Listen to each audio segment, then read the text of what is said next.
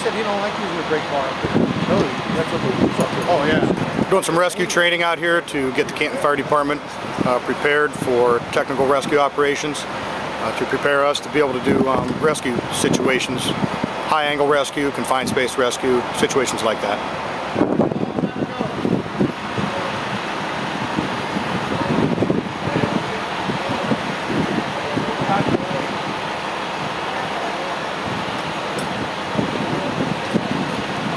We are going to put a patient in the uh, basket, the rescue basket, and uh, lower them over the side of a building.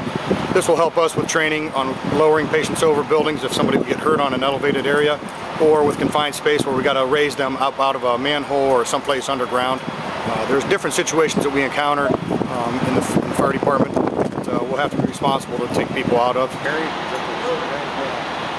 well, that's first time over down below.